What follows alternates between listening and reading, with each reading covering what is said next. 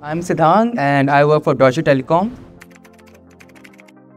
So I've been using KodeKloud for passing certifications for CKAD and CKA, and it's been really very helpful for me to pass those exams. I won't be able to pass like on my own if I hadn't done the courses. So it's been really great.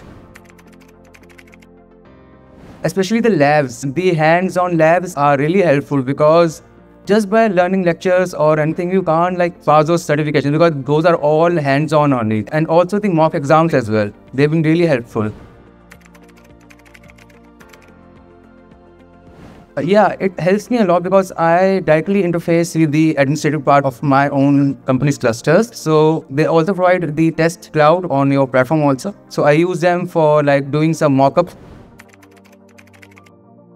Uh, I would say very intriguing platform. Yes, I definitely do.